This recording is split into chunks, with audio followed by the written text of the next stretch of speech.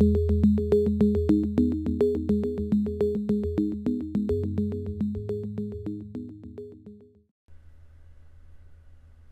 you launch ProNest, the main window will appear.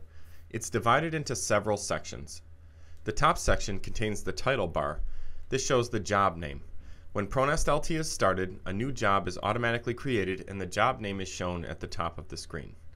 The ribbon up at the top is divided into several tabs, so File, Home, Nest, and so on. Each tab contains a set of controls that you'll use to perform various operations in ProNest. Though there are a lot of ribbon items, you'll get more familiar with them as you use ProNest. Um, if you ever need more information on what any of the ribbon controls do, there are hover hints available for all of these. So um, you can just hover the mouse over the button and it will give you a little description. Also, you can press the F1 key to open up the help and that will explain a little bit more about that control and how to use it. Okay, on the left-hand side of the main window is the part list task pane. This is dockable. You can move this anywhere you want. Um, when ProNest is started normally, the part list doesn't contain any parts. You can also activate other task panes such as the separations editor or the properties pane using the view tab. So on the view tab here, you can select any of these to display them in the main window.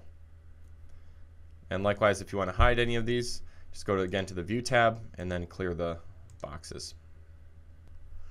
The remaining area of the main window is devoted to nesting. Um, in the nesting area, there's an image of an empty nest.